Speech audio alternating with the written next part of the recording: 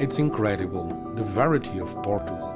With a relative small area, we can find a lot of diverse and astonishing landscapes, where little cute small towns offer us a solid reflex of that authentic rural culture from our ancestors and from where we have many things to learn.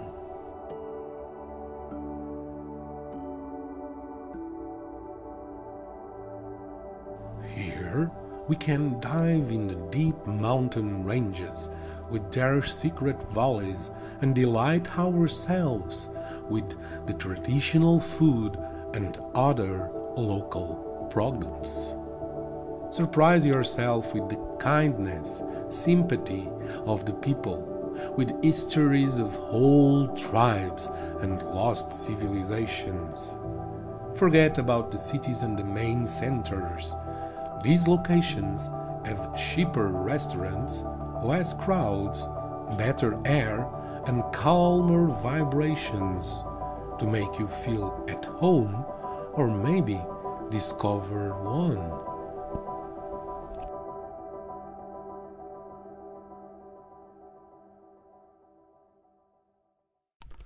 Number 10.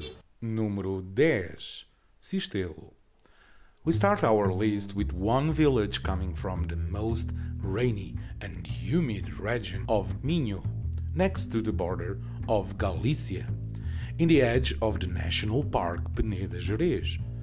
Yes, it could be in the Philippines or other eastern country, but no, it's northern Portugal.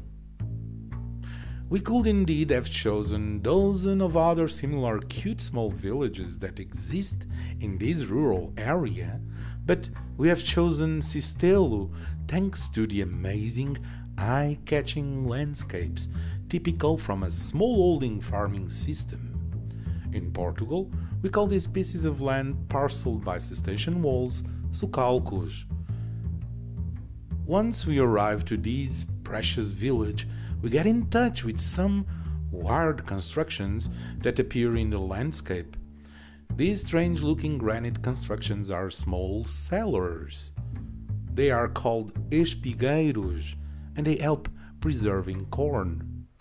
Their origin is in the times that this region was strongly occupied by the civilization of the Swabians during the 5th and 6th century AD.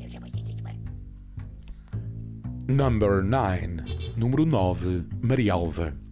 This recommendation is the most mysterious village in the list. In the region of Guarda, Marialva is the motherland of many traditional tales and actually was the set for several different supernatural movies. This small village with no more than 255 inhabitants nowadays was once a spiritual center and capital of the pre Roman Lusitanian tribe called the Aravi.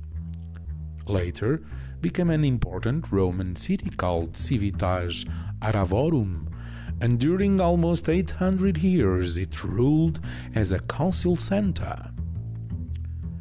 We can feel the decay of the centuries mirroring through the ruins of the old silty buildings, and we can imagine the long forgotten characters from the legendary story The Goat Footed Lady.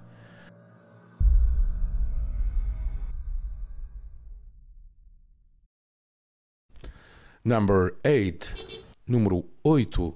Sortelha. Another cinematic little village with a medieval castle waiting to be discovered. With a little bit bigger population of just 444 inhabitants, they live suspended in the rocks as lizards. Yes, lizards. Lagartixos is the name of the inhabitants of Sortelha. They live at an altitude of 760 meters. Yes, it can snow in the winter. This village is situated already in the highest Portuguese mountain range called Serra da Estrela. Sortelha was once a very important military settlement next to the border of the ancient Kingdom of León, now is Spain.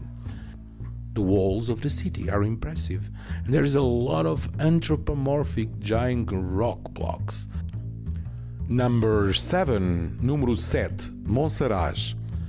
Next to the UNESCO Heritage City of Évora, in the great region of Alentejo, this little cute village is an authentic open air museum with a magnificent castle and walls that involve all the village.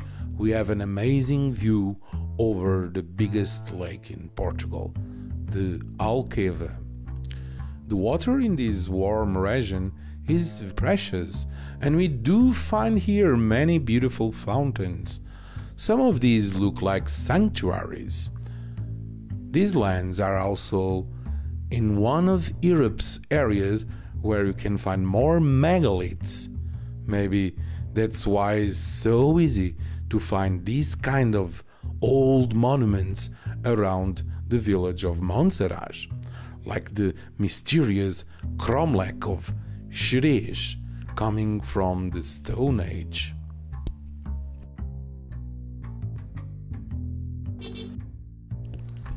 Number 6. Número 6. Azenhas do Mar.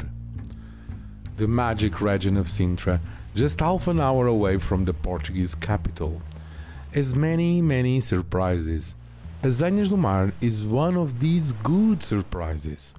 Built suspended in the cliffs with an amazing, refreshing ocean water pool that is loaded with water during the high tides. At first look, we could be in some Greek island, like usually say some of my dear tourists that visit this place with me. But if you look closer, you will find the color blue details and the azulejos that remind you you are in Portugal.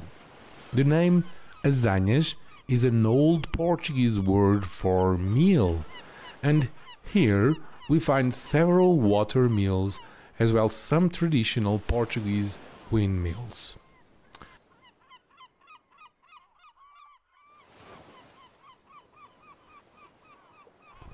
Number 5, número 5, Odeceixe.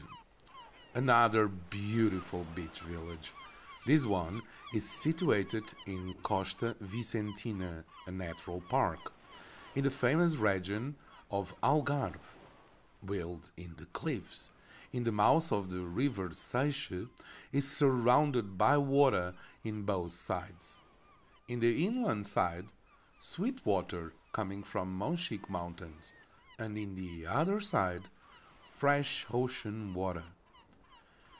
In Odeceixe, you don't find the confusion of the mainstream destinations of Algarve. Here is all about enjoying nature relaxation, good food, and beaches hidden in the scarps.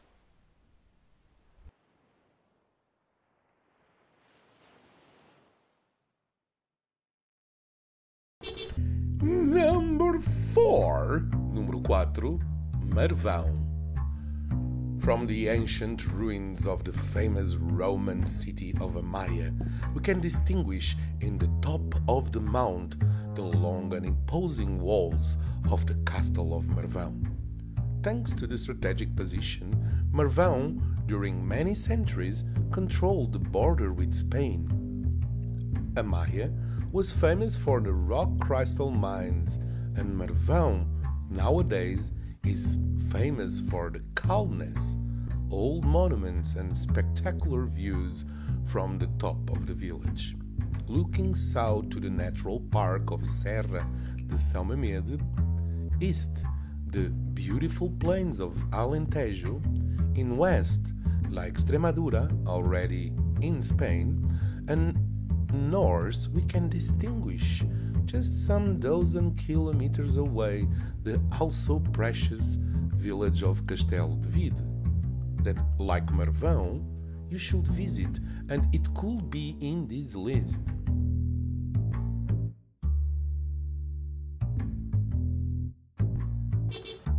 Number 3, Número 3. Piódão. The remote and scenic rocky village of Piódão is situated in the highest mountains of Coimbra region in Serra do Açor.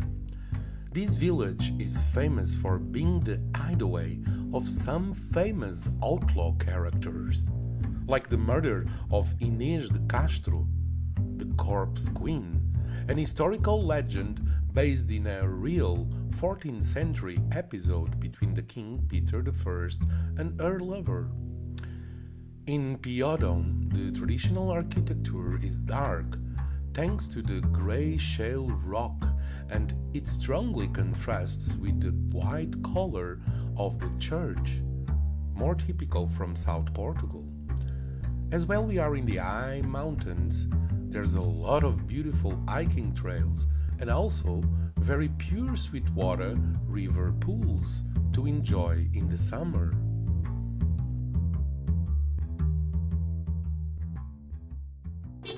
Number 2. Número 2. Monsanto. Along the years, some artists looking for inspiration have chosen to live in Monsanto, and recently, many expats that moved to Portugal have also made this decision. Maybe it's the proximity to the famous Boom Festival. Maybe it's just uh, the mystic magnetic feel that you can feel around here. If you believe that you have seen all about house configuration, wait until you see the streets of this beautiful medieval village. Because you will find houses in the middle of massive rock blocks, rocks in the middle of the houses, and so on. Here is the real bedrock. But remember, there's a lot to see besides rock blocks. As well, Monsanto, it's very rich in history episodes and culture. You will find a lot of monuments to visit, abandoned churches, caves, and an amazing Templar castle. Don't you forget to check the typical dolls and also the famous folk music percussion instrument called adufe.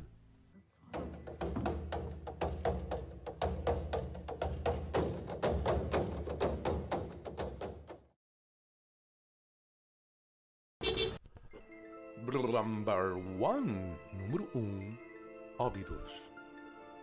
It's easy to understand why this little cute white collar village has become such a popular destination.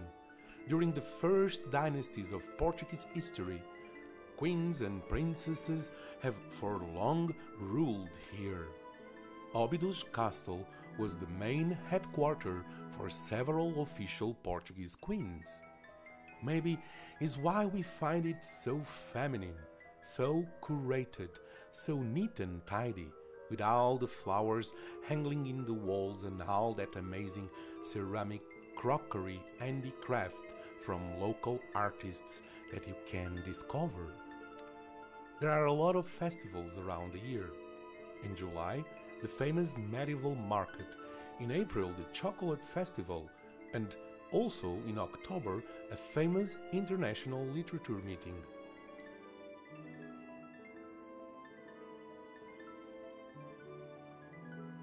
Check out our organized tours around Portugal and don't you forget to subscribe in our YouTube channel.